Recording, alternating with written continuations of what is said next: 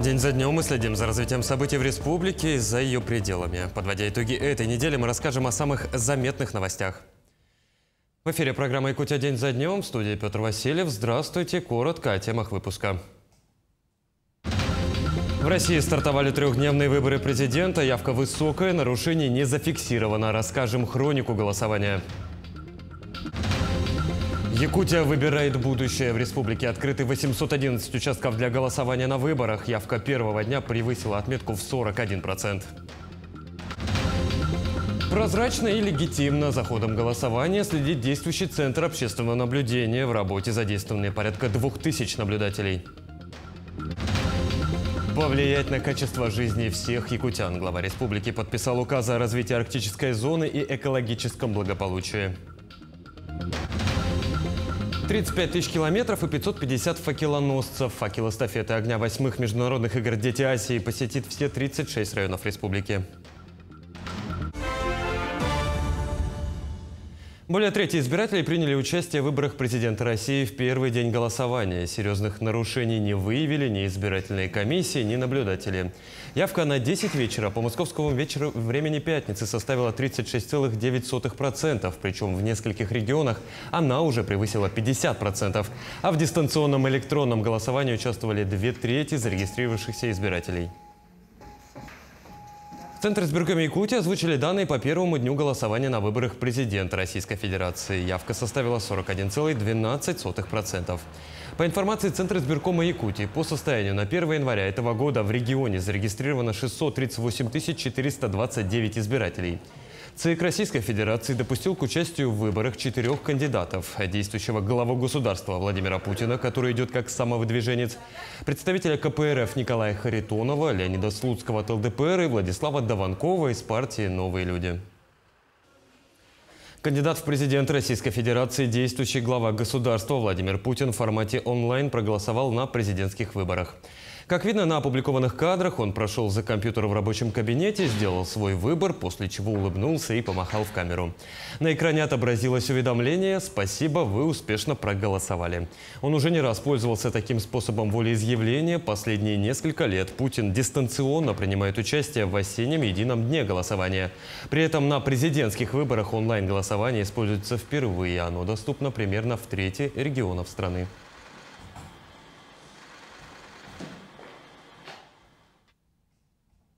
Определить судьбу страны на многие годы вперед. Глава Якутии проголосовал в первый день выборов президента Российской Федерации.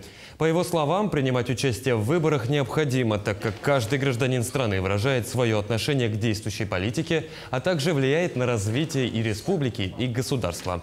Отмечу, глава региона проголосовал на избирательном участке номер 779, который расположен в здании школы номер 33 в Якутске. Выборы президента страны – это главные выборы нашей страны, и они, конечно, определяют судьбу нашей страны на многие годы вперед. И, конечно, вот в сегодняшней ситуации я считаю, что обязательно нужно проголосовать, показать свое отношение к действующей политике, э, проголосовать за сильную, развивающуюся, стабильно идущую вперед и Республику Саха-Якутия, и нашу великую страну Российскую Федерацию первый день голосования по всей республике сделали свой выбор. По данным ЦИК, порядка 260 тысяч человек. С некоторыми из них из избирателей пообщалась и наша съемочная группа.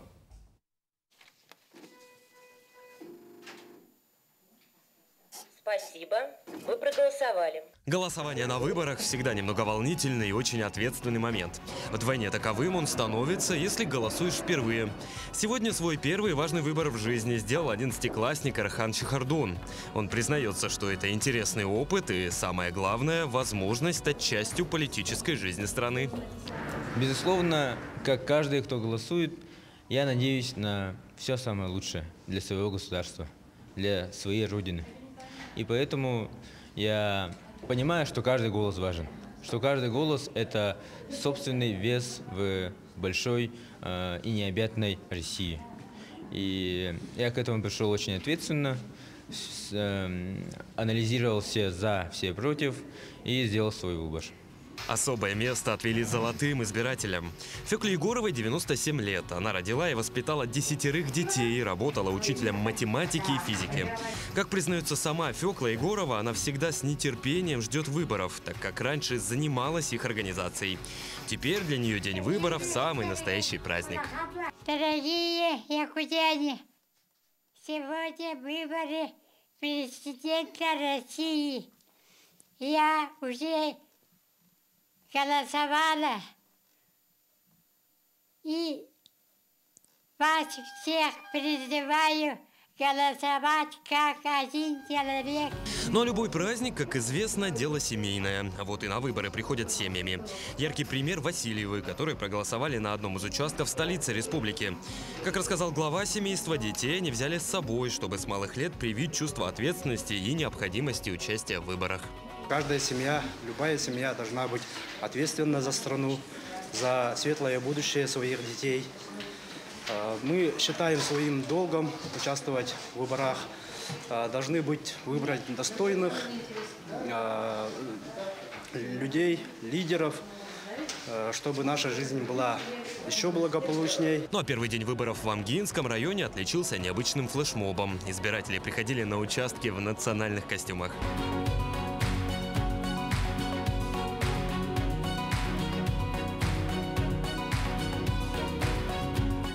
Мы направили призыв э, нашим э, землякам, чтобы все пришли на выборы э, в национальных костюмах.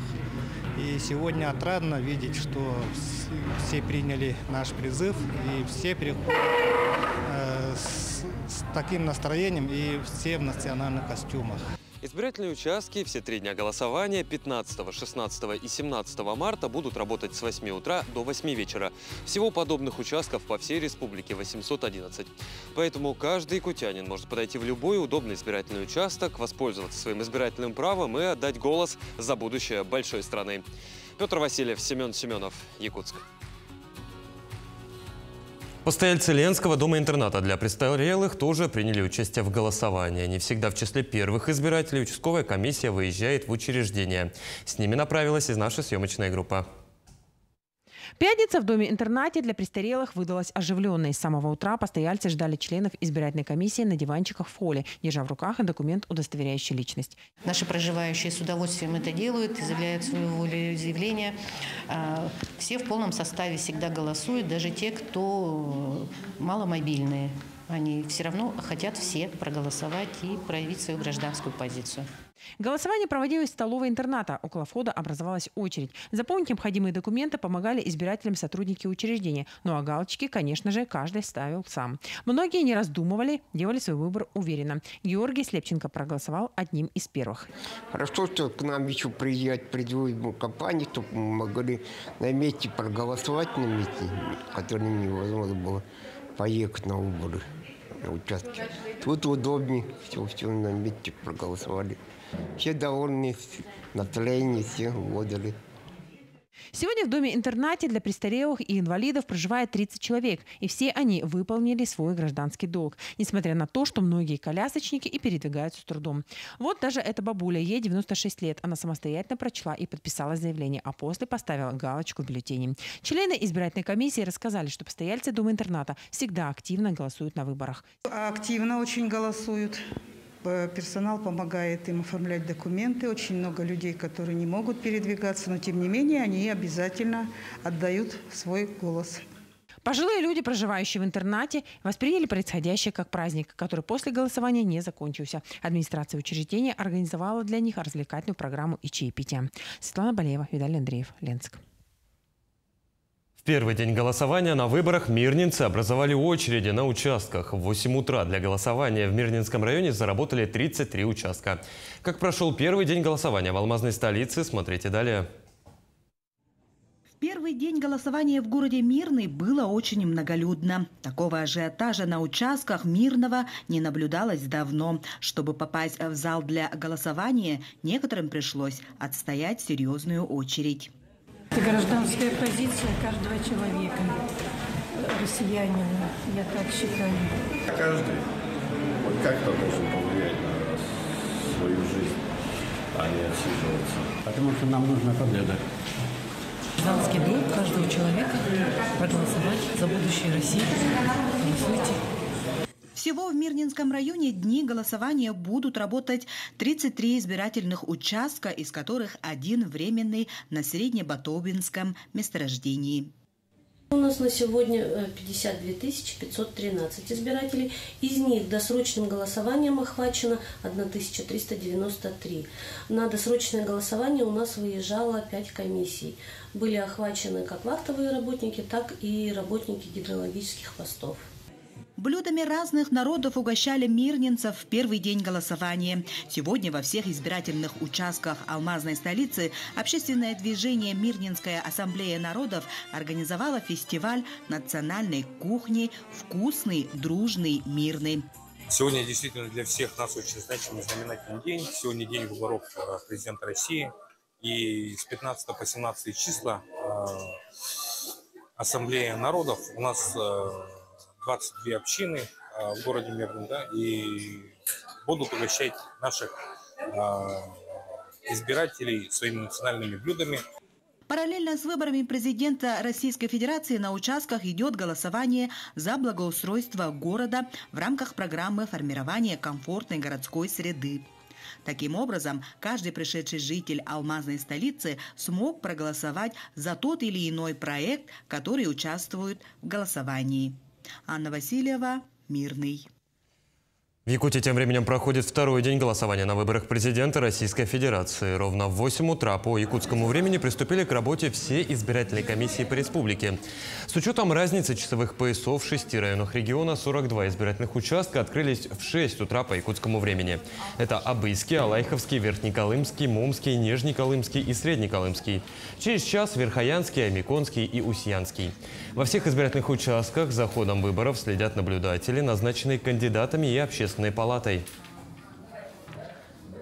Ну а тем временем до закрытия избирательных участков остается менее двух часов. Последние актуальные данные по явке готова рассказать моя коллега Вероника Таюрская. Она на прямой связи со студией. Вероника, приветствую, ждем от тебя подробностей. Приветствую, Петр. Голосование продолжается. На некоторых избирательных участках даже наблюдается скопление людей – в настоящее время Якутия находится на пятом месте по всему Дальнему Восточному федеральному округу. Ну а актуальные данные на этот час расскажет Александр Власов, заместитель председателя Центра избир избиркома Якутии. Здравствуйте, расскажите, пожалуйста, про актуальные данные на, на, на, данное, на данное время. Спасибо. Ну, нужно сказать, что наши избиратели активные. 52,27% наших избирателей пришли. Ну, по-прежнему у нас лидерами являются те же районы, которые в прошлый раз мы называли. Это Оленёкский, Анабарский, где за 80% пришли. Ну и почти 70% у нас пришли в Горном, Абыйском, Сунтарском районе. Ну и удивительно, и, наверное, приятно и радостно, что в Мирнинском районе пришло тоже почти 65% наших, э, наших избирателей. Большой процент у нас и в Ленском, Нерюнгринском районе, ну, несколько меньше в Верхнеколымском, Алданском и э, городе Якутске. А с каким настроением вообще приходит э, голосовать наше население? Ну, нужно сказать, что сами наши участковые избирательные комиссии очень серьезно подготовились к проведению выборной кампании. Но если посмотреть на нашем сайте, вы увидите, в каких красивых, разнообразных костюмах и как э, подготовились участковые избирательные комиссии, что действительно это радостно и приятно. И наши многие избиратели тоже приходят либо в национальных костюмах, либо очень нарядными, с хорошим, в большинстве своем с очень хорошим настроением. Поэтому радостно и приятно проходит выборная кампания. Как вообще идет голосование в Дальневосточном федеральном округе? Ну, нужно сказать, что оно идет неплохо. В целом на Дальнем Востоке сейчас проголосовало 48,5%. Но это несколько ниже, чем э, по республике Саха-Якутии. Но э, э, лидерами является Чукотский автономный округ, где пришло больше 73%. Это Северный избирательный округ, и он сравним вот с нашими северными районами. У нас действительно северные наши районы пока, показывают результаты даже выше выше, чем э, на Чукотке. В целом готовность сегодня э, выборной кампании по Дальнему Востоку очень высокая, и вот этот процент говорит о высокой активности. Но мы надеемся, что если не сегодня, то завтра наши избиратели придут и будут активно голосовать. И мне бы сейчас хотелось сказать о том, что осуществляется у нас видеонаблюдение и видеофиксация во всех избирательных комиссиях. Работают наблюдатели, значит, представляющие общественную палату, те партии, которые участвуют в выборной э, кампании, и тех кандидатов, которые также участвуют в этой выборной кампании. А зафиксированы ли вообще какие-нибудь нарушения на избирательных участках в Якутии? Ну, нужно сказать, что жалоб э, на данный момент на нарушение законодательства при, при выборах не поступило. Спасибо. Как говорится, еще не вечер. Голосование продлится еще э, несколько часов. Э, в зависимости от районов, а также весь завтрашний день. Петр? Ну да, Вероник, действительно, итоги пока подводить рано, как ты и сказала, впереди еще как минимум целый день. Вот мы уже рассказывали об активности избирателя, а есть ли особо отличившиеся якутяне?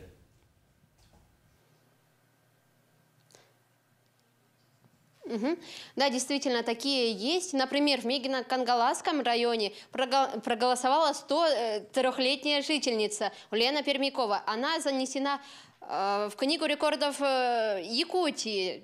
Тем самым она стала самым, э, скажем так, возрастным избирателем.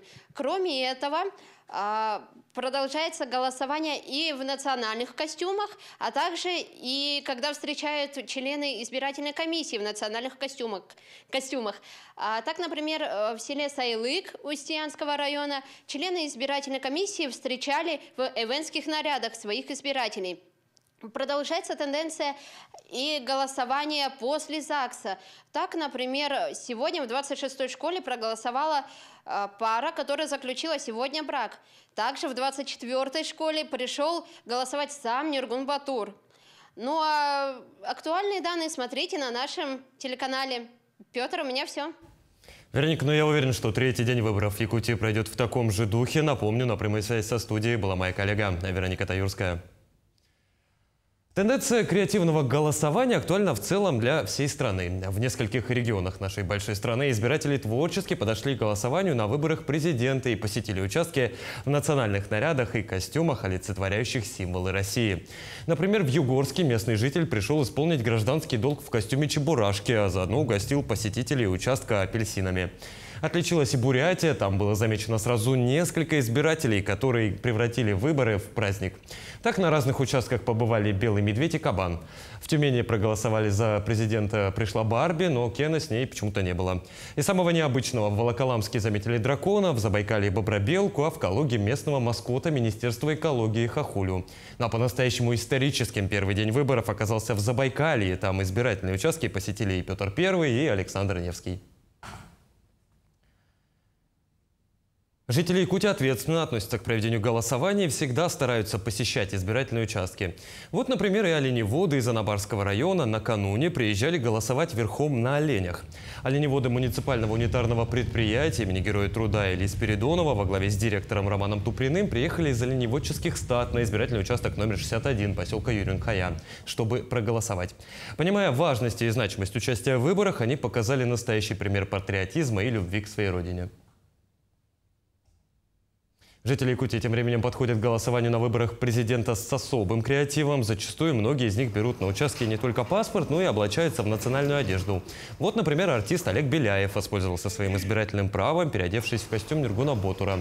Отмечу, что это герой фольклорного произведения, который символизирует борца за прекрасное будущее.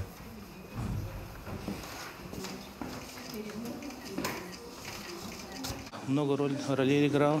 Например, вот а, у нас сейчас э, вот царская невеста будет. Я там играл Памелия. Вот, я еще вот в опере Нюргумбатур я еще играл Юрин Болана. Почему я э, в образе Нюркумбатора? Это наш вот, якутский герой, как бы. И надо вот сплочиться и сделать правильный выбор. Совместить две значимые даты решились молодожены Светлана и Валерия Андреевы. Сегодня, во второй день голосования, они заключили брак и сразу после ЗАГСа отправились голосовать на выборы президента России в избирательный участок номер 26 в одноименной столичной школе. Пора отмечать, что своим голосом они определили и будущее государства, и свою дальнейшую счастливую жизнь.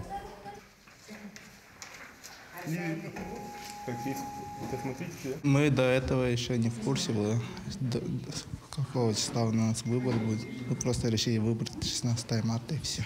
Мы подавали через госуслуги заявление, и вот так у нас все совпало, день в день. И вот сразу после ЗАГСа побежали сюда. Необычные, Волнительные. волнительные, но что могу сказать? Ну, Мы счастливы. Мы, мы счастливы.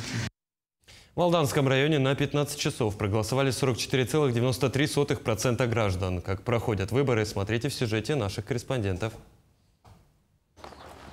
Избирательный участок номер 18 – единственный в поселке Верхний Куранах. По списку здесь 316 человек. Это жители пяти улиц поселка и граждане, работающие вахтовым методом. Особую сознательность проявляют впервые голосующие. А всего в первый день выборов бюллетени заполнили порядка трети избирателей. проявляют себя активно, идут. Э, Не спеша, конечно, толпы нет, но будем надеяться, что все будет очень хорошо. За первый день э, у нас э, вчера проголосовало 72 человека. Как бы, ну, это примерно около 30% голосующих на нашей территории. Избирательный участок номер 21 поселка Нижний Куранах является одним из наиболее многочисленных. К нему прикреплены свыше двух тысяч человек, в том числе приезжие рабочие. По данным на 11 часов второго дня голосования, свой выбор сделали порядка 50% граждан.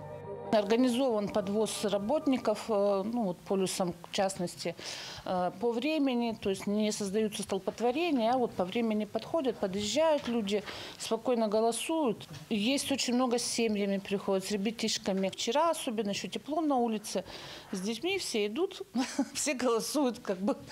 Голосовать нужно обязательно, убеждена жительница Нижнего Куранаха Ирина Шантыка. Она пришла на участок после работы, а некоторые члены семьи Ирины проголосовали еще вчера.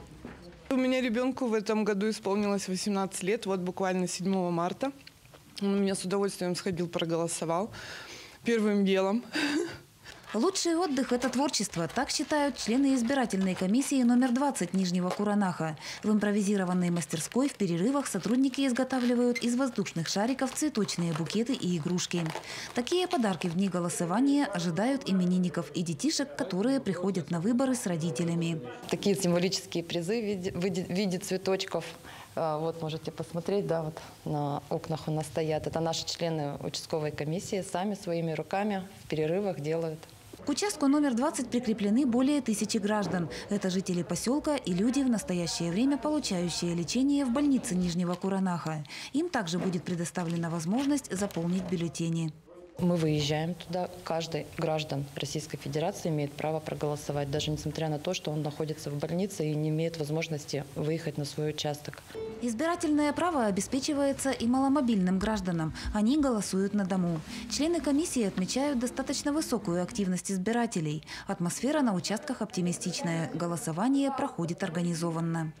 Вместе мы сила, голосуем за Россию! Татьяна Вахнина, Сергей Шипачев, Александр Лукин, Алданский район.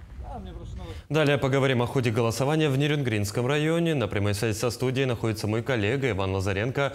Ваня, вновь приветствую. Какие данные озвучивают специалисты?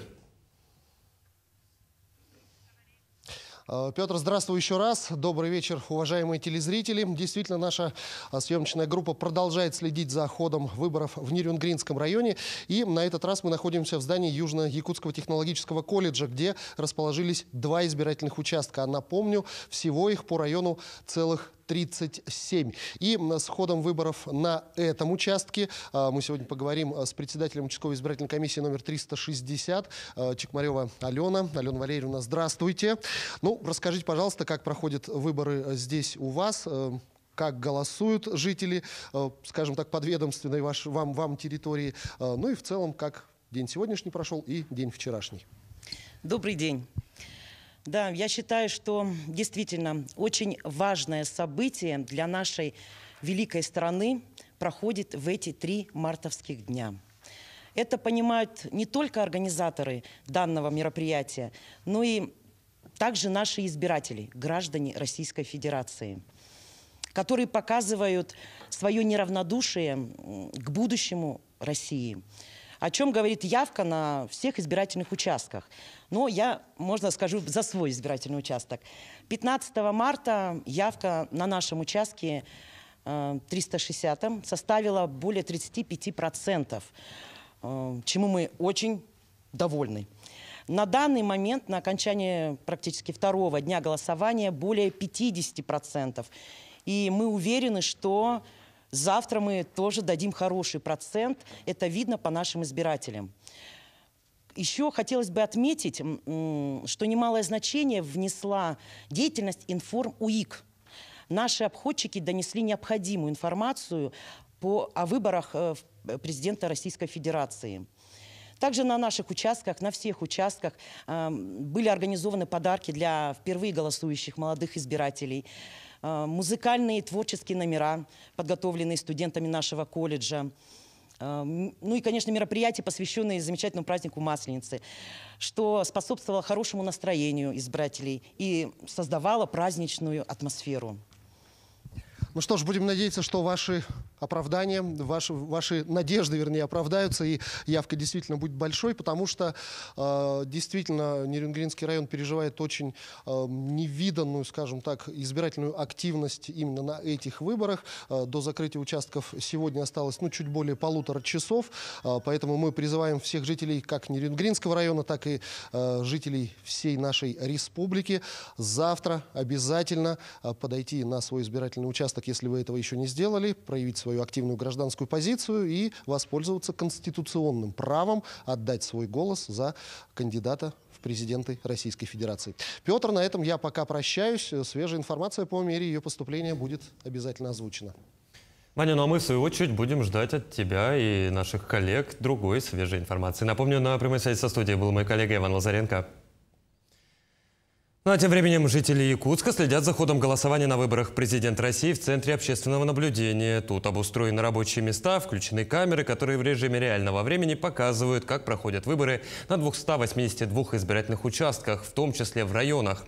Напомню, Центр общественного наблюдения расположился в столичном доме профсоюзов. За вчерашний день его посетили порядка 100 человек. У нас были студенты, мы провели для них занятия буквально, были лекции. Ну, студенты, народ молодой, и некоторые нюансы, может быть, они не знают системы избирательной, поэтому было им очень интересно. И, кроме того, у нас есть волонтеры, студенты, практиканты, которые вот находятся за нашими ноутбуками, сами учатся и учат наших, допустим, посетителей. А, кроме того, у нас был вчера хороший концерт. А, студенты АГИКИ, которые были на СВО, уже не успели приехать как раз к этому времени и показывали свои выступления, концерт нашим здесь э, посетителям. Ровно в 20 часов закрываются избирательные участки, а значит и первые урны для голосования опечатываются сразу же после закрытия. После завершения происходит оглашение результатов первого дня председателем комиссии о количестве проголосовавших избирателей. После чего идет сбор журналов от членов комиссии, непосредственно сама выемка бюллетеней. Следом происходит их запечатывание в сейф-пакеты, после чего все бюллетени отправляются на хранение в сейфы. Так как голосование длится не один день, а с пятницы по воскресенье, то сейф-пакеты хранятся под замком до окончания всего периода выборов. Когда закрываемся, э, начинаем выемку бюллетеней из стационарного ящика для дальнейшего передачи сохранения э, сейф-пакет, но без, без подсчета, но сохранением таинства. Вот э, вы увидите, что члены УИК аккуратно стараются сохранность э, бюллетеней, но, как говорится, э, закрывать, чтобы тайное голосование оставалось при этом. Перейдем к другим темам. Президент России Владимир Путин и глава Якутии Айсен Николаев на встрече в режиме видеоконференц-связи обсудили предстоящий визит главы государства в республику, а также актуальные вопросы социально-экономического развития региона. По словам Николаева, за два месяца этого года промышленный рост в Якутии составил 13,5%. Регион сохраняет лидирующие позиции по добыче полезных ископаемых. Также глава региона отметил высокую инвестиционную активность в республике, а среди основных достижений назвал демографические показатели – в минувшем году численность населения республики превысила 1 миллион. Обозначение наиболее важных объектов для развития Якутии а позволит сделать обсуждение указанных проблем во время поездки в регион предметным и результативным, уточнил Путин сказали о тех проблемах, которые являются для республики наиболее актуальными, давайте мы так сделаем. В долгий ящик откладывать, конечно, не будем, но э, вы со своей стороны, а я попрошу коллег из правительства, чтобы все вопросы, о которых вы сейчас сказали, э, о которых, э, о которых мы сейчас обсуждали, они были проработаны, ну и не откладывая там в долгий ящик, чтобы наша, наша встреча уже в республике состоялась. О том, как организована поддержка участников специальной военной операции в Якутии президенту России Владимиру Путину доложил глава региона Айсан Николаев также во время встречи в режиме видеоконференции. Глава государства обратил особое внимание на поддержку семей военнослужащих. На сегодня в республике действует 41 региональная и муниципальная мера поддержки. На эти меры поддержки семей военнослужащих, по словам Николаева, республика направила 4,2 миллиарда рублей. Владимир Путин поблагодарил Айсена Николаева за поддержку бойцов, которые на линии боевого соприкосновения на фронте выполняют свои задачи перед Родиной. Во-первых, спасибо вам за поддержку ребят ваших, которые на линии соприкосновения, на фронте выполняют свои задачи перед Родиной. Э, воюют они действительно круто, героически, сильные мужчины, сильные ребята. И о семьях не забывайте ни в коем случае. Я знаю, что все это делаете, занимаетесь этим, и прошу вас продолжить. Главным акцентом двусторонней встречи главы с президентом, безусловно, является обсуждение вопросов будущего Якутии, которое в ближайшее время будет продолжено в очном режиме во время визита Путина в республику. Уже ясно, что поднятый на встрече вопрос дополнительного финансирования получит максимальную поддержку главы государства. Якутия – лидер по объемам расселения из аварийного жилья в России.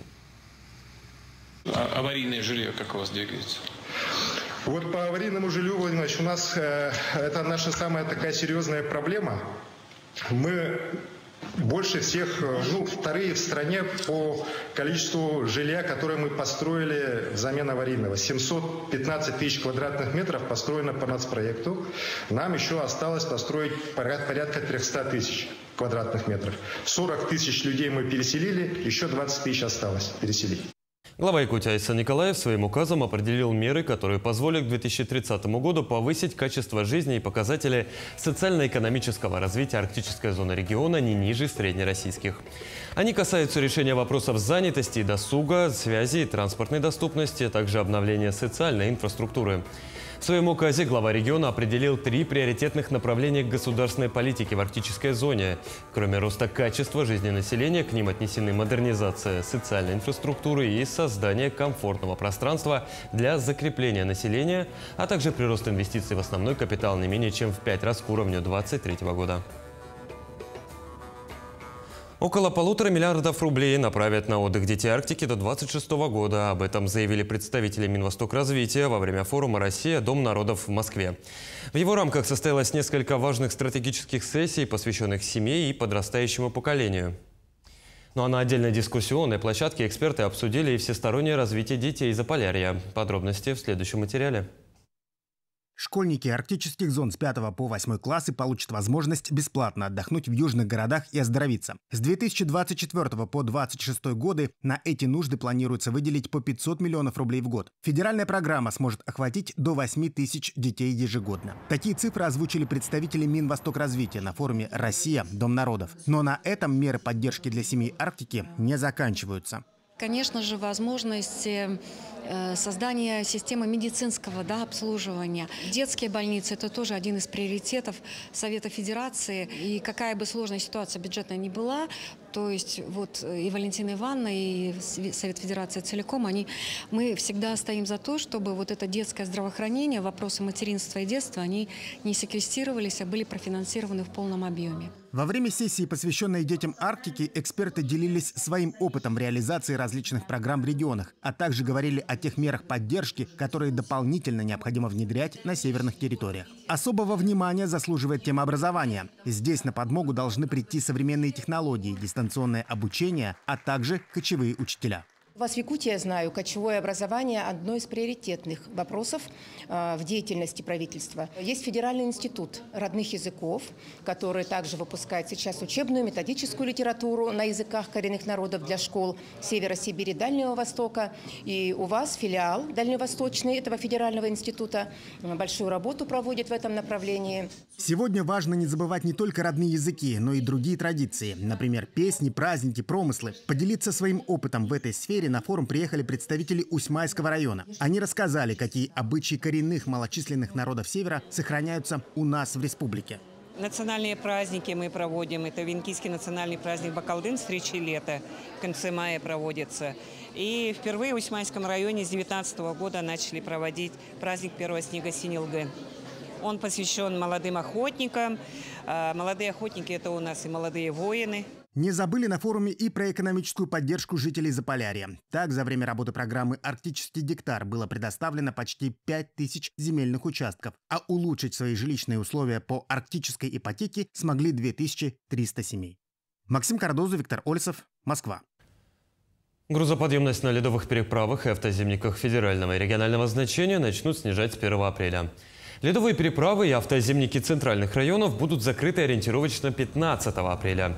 Проезд по ним будет запрещен для всех видов транспорта. В арктических и северных районах закрытие ожидается 20-25 апреля. Для обеспечения безопасности дорожного движения, сохранности ледовых переправ и автоземников Министерство транспорта настоятельно рекомендует не превышать разрешенную грузоподъемность и строго соблюдать требования установленных дорожных знаков. В районах Якутии обновится общественный транспорт. Глава республики Айсан Николаев вручил ключи от 25 новых автобусов муниципальным образованием. В общей сложности на 400 миллионов рублей закуплено 53 автобуса для 17 районов. Тему продолжит Марферина Алексеева.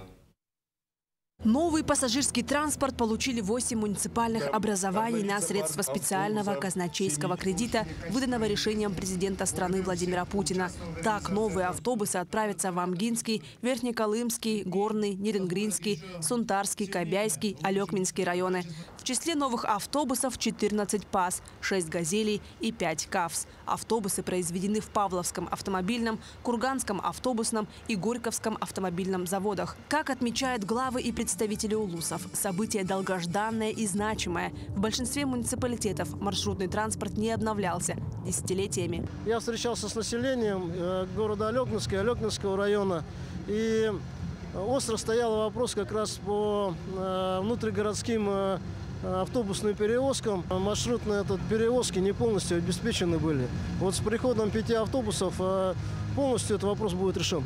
Вот приехали за новыми автобусами с Алекминского района. Автобусы давно ждали, очень теплые. Мало у нас их, ну, недостаточно. Старые пазики уже советских таких годов.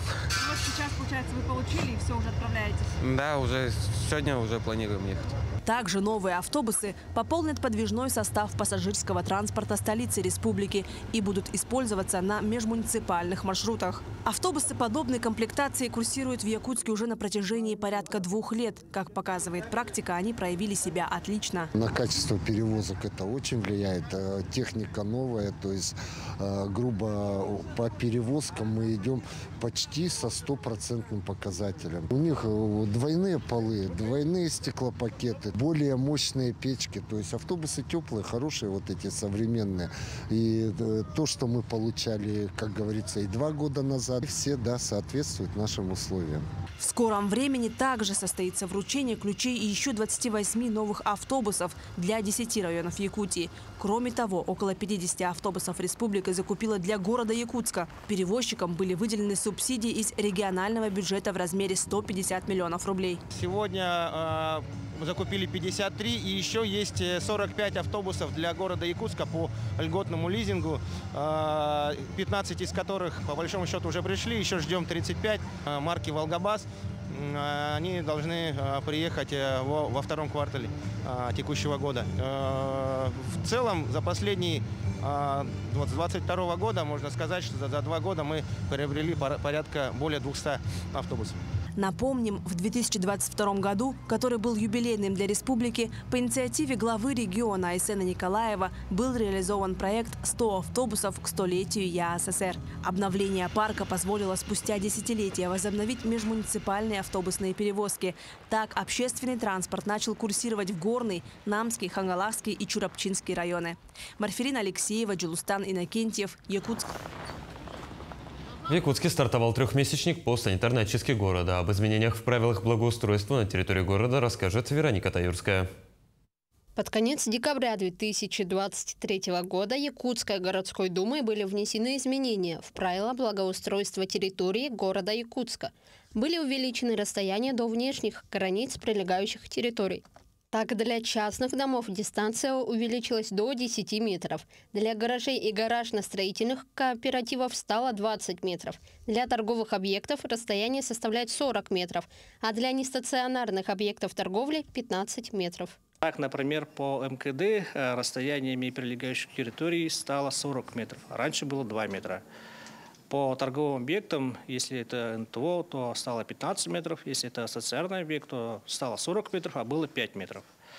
Наша съемочная бригада поинтересовалась у жителей частных секторов столицы, знают ли они о изменениях в правилах благоустройства территории Якутска, а также как они вывозят снег с дворовых территорий.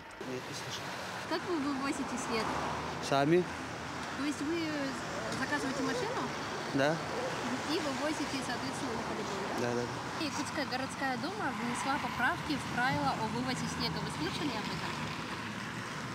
Я телевизор Э, новости не слышу. А, я не знаю, не на санках там день у канава выливают. Ну, чистый снег имеется в виду. А с мусором, мусор у них, по-моему, на машине возят.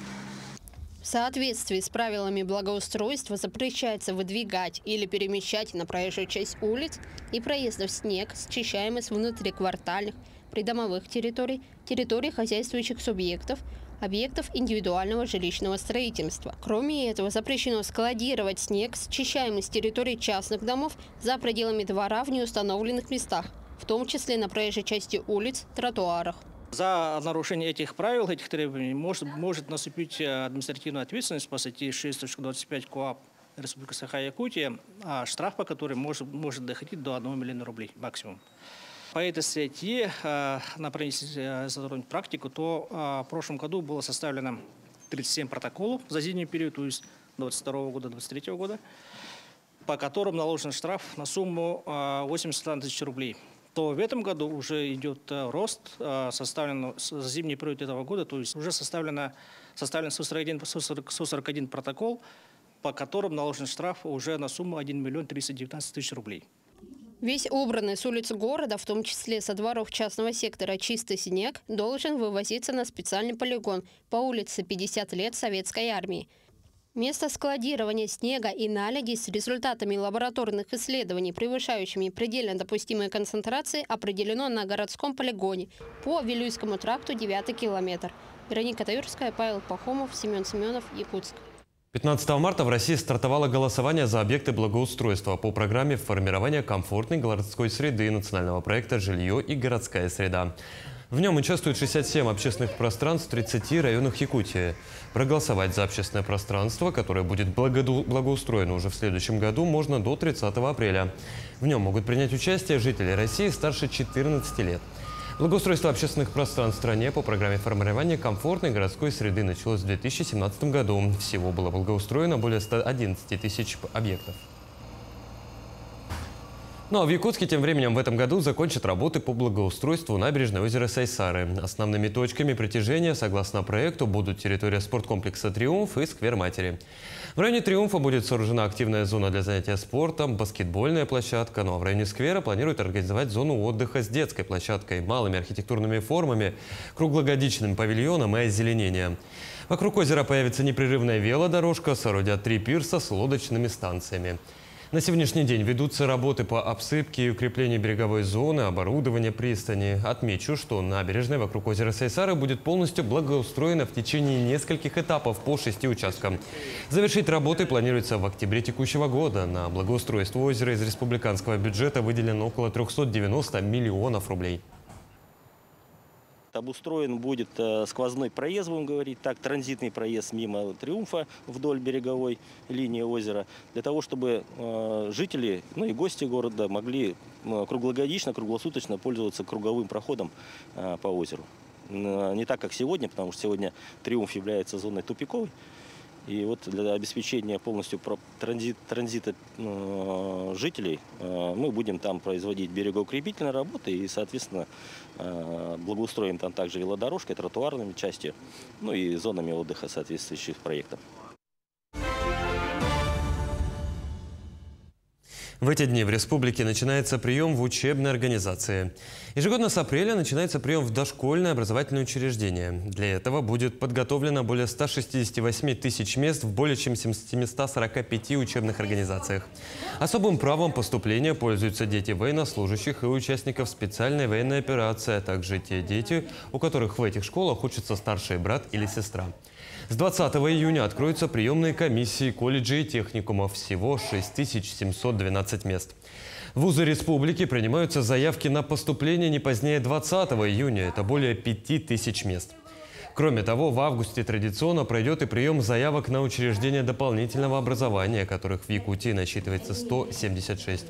Прием документов проводится на портале госуслуг через личный кабинет. В связи с э, переходом на электронный прием э, заявлений на э, государственные и муниципальные услуги необходимо активно пользоваться своим личным кабинетом в госуслугах, где вы можете выбрать для себя и образовательную организацию, и образовательные программы для будущего своих детей. В Якутске проводится первый республиканский конкурс талантливых мастеров, резчиков по дереву из 10 районов республики. На конкурсе изготавливают уникальные работы. Каждый мастер в течение двух дней должен изготовить изделия, а также продемонстрировать высокий уровень мастерства. Подробности знает Даяна Федорова.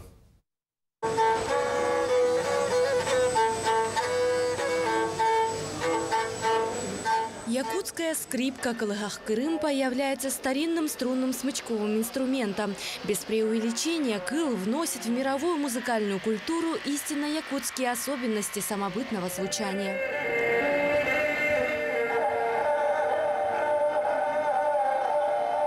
Созданием инструмента на конкурсе занято несколько участников. В частности, единственная девушка Ксения Шамаева.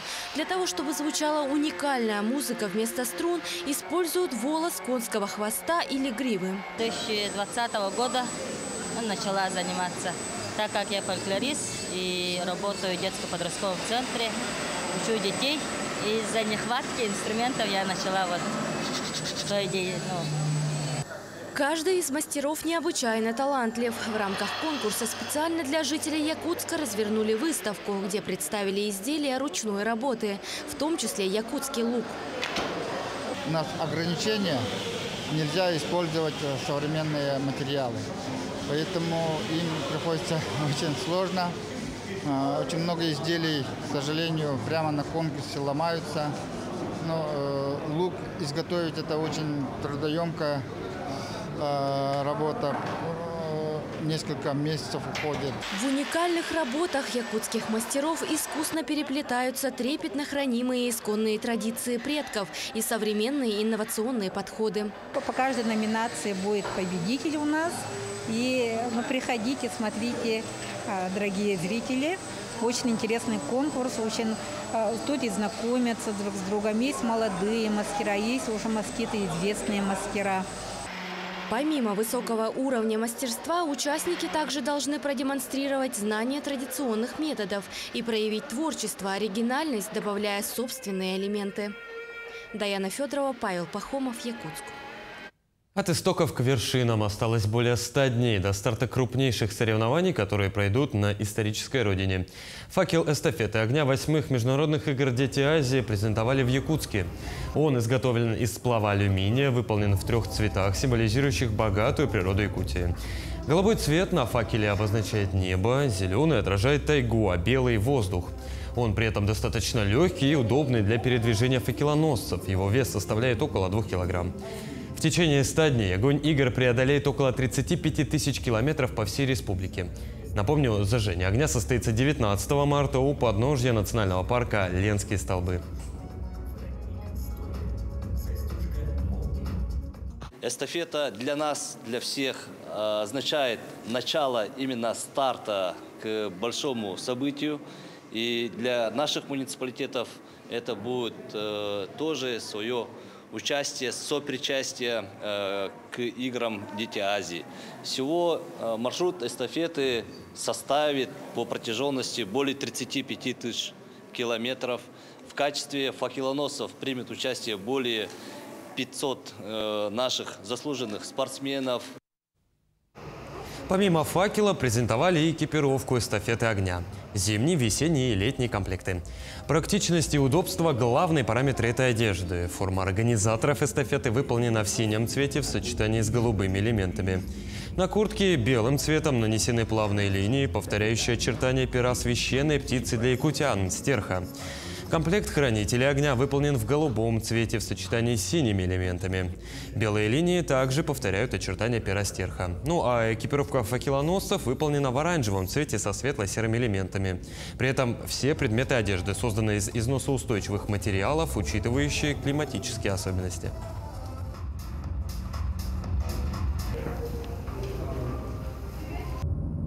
То, что касается участников, на сегодняшний день а, подтверждение получено от 14 стран. А, также в работе у нас а, порядка 20 стран по оформлению заявки для подачи. Международным комитетом на прошлой неделе было принято решение о продлении заявочной кампании, так как в ряде стран проводятся отборочные турниры и по количественному составу идет определение. Ну, до 1 апреля Такое видели минувшую неделю наши корреспонденты. Вы смотрели итоговую программу «Якутия день за днем». Мы и дальше продолжим следить за развитием событий в республике и за ее пределами. Ну а я с вами прощаюсь. Всего доброго и до встречи в дальнейших эфирах. We'll